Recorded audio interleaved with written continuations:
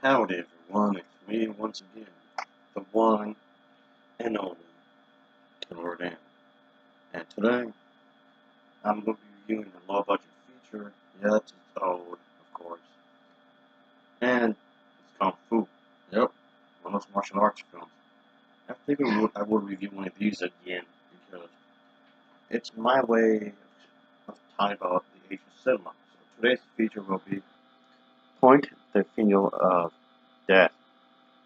And that's kind of a weird title considering the fact that there's some scenes with swords in it, so okay, whatever.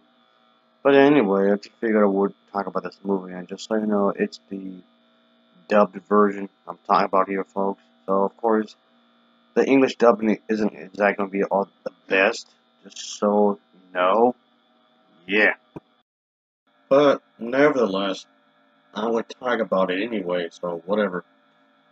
Anywho, so as usual, I have to talk about the plot, so let's just go into it, we? So here we go. Pretty much what's going on in the plot. It's going to center around that there is this secret, secret society that plans to overthrow this um uh this um this destiny, if I'm pronouncing that right. Excuse me if I'm wrong. But and resume the um, some type of um, government, I guess you would say. But their organization gains the support of numerous of uh, martial art clans, I guess you would say. So this government has its own plans to pretty much squash the rebellion, so to speak.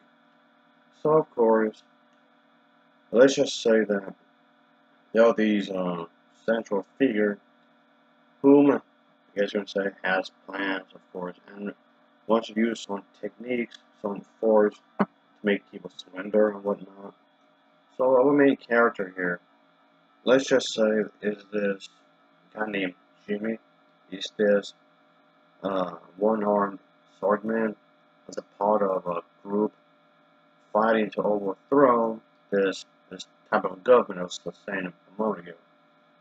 But yeah, let's just say that things do become rather, you know, interesting. I guess you would say it's pretty fast paced in here, folks, of course, and that's a you get to see why he's like this original one-armed swordsman. Yes, you get to see why, of course. But yeah, so let's just say things could become rather crazy in some little way, obviously. I know when it comes to these movies, I'm always bringing up the fight scenes. But for the obvious reason, that's why I'm going to do it. So yeah, in regards to that, it's definitely well made, of course. And that's definitely one of the things I miss from this genre, is that mm-hmm. having the fight scenes go out in a very fluent manner not have the editing be all chopped up like in a lot of the recent action movies and whatnot. This is something I brought before, but these movies are really cheaply made. The fight just come out better. I don't know how that makes any sense. But whatever, I guess. The way it's done is it was pretty well choreographed, I guess. And of course, when you watch these movies, that's one of the main things you want to see anyway. So, of course, you might as well have your own little spin to it, I guess you could say. So there's that. And action, you will definitely get. Because, yeah, it's fairly, fairly fast-paced, of course. And I didn't mind that really, because that's pretty much what I was expecting when it comes to these types of movies.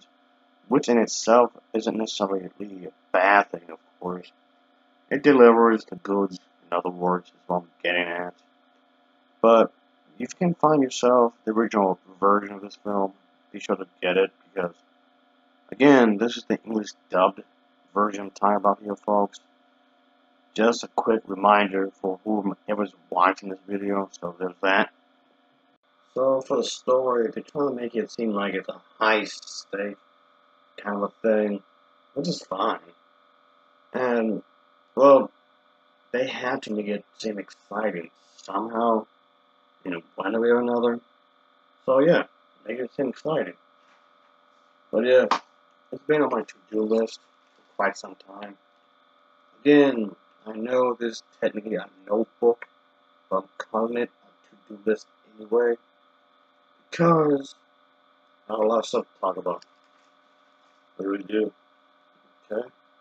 Can remove this from my to-do list because I'm already reviewing it right now. Alright?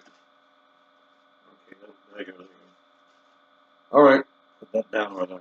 Yeah, I had that thing for a little, quite a while. So anyway, like I was saying with the movie, would I say it's worth watching? I thought so. If you're somebody that's into like the whole vintage martial arts kind of a thing, I'd say check it out. I just give it a watch once, at least you can say. But yeah, I didn't mind it. No. I like uh, searching for these type of movies because I like I like old movies. I always prefer old movies. You look at my channel, a good chunk of what I review are old movies. Not always, of course, but a vast majority of the time, that's what I'm going to be reviewing, obviously. Most of the time, I'm going to be reviewing. Not always, but most. But, um, but yeah. I guess you can consider this as a, as a rare movie, as an, uh, obscurity, I guess you can say. So, another reason as to why I should talk about it. But anyway, uh, not exactly the best kung fu movie I've seen, but I probably saw it one nonetheless. I'll give this film an overall rating of a 6.7 out of 10. It's a 6.7 out of 10 for me. And as always, thanks for watching, and take care. Until next time, see ya. Oh yeah. Later. Mm-hmm. Yeah.